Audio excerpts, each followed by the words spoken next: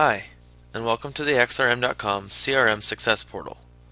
In Microsoft Dynamics CRM Online 2011, creating a sophisticated report is a process made easy thanks to the step-by-step report wizard.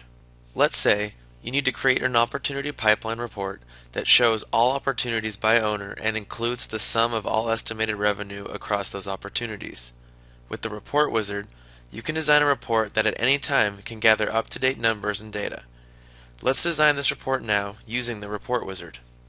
From the Workplace module, click Reports. Here is where you will find all of the created reports that are available to run.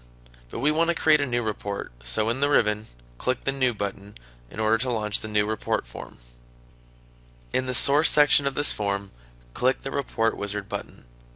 This will open the Report Wizard Get Started page.